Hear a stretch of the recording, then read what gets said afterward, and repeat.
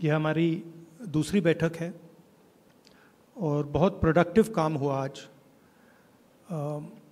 बहुत स्मूथली काम हुआ। लड़ाई बीजेपी की विचारधारा उनकी सोच के खिलाफ है। वो देश पर आक्रमण कर रहे हैं। बेरोजगारी फैल रही है।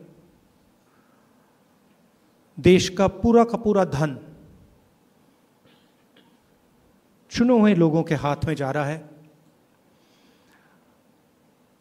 और इसलिए जब हम डिस्कशन कर रहे थे, हमने अपने आप से सवाल पूछा, लड़ाई किसके बीच में है? ये लड़ाई ऑपोजिशन और बीजेपी के बीच में लड़ाई नहीं है। देश की आवाज़ को दबाया और कुचला जा रहा है। ये देश की आवाज़ के लिए लड़ाई है। और इसीलिए यह नाम चुना गया। Indian national developmental inclusive alliance.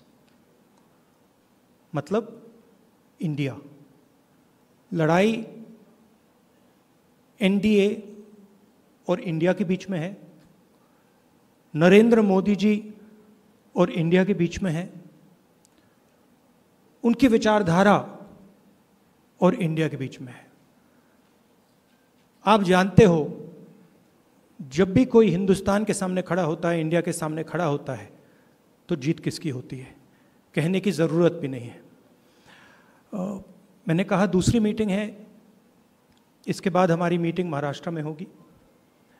और हमने निर्णय लिया है सबने निर्णय लिया है, कि अब हम एक एक्शन प्लान तैयार करेंगे, जहाँ हम एक साथ मिलकर देश में, हमारी विचारधारा के बारे में, और जो हम देश के लिए करने जा रहे हैं, उसके बारे में बोलेंगे।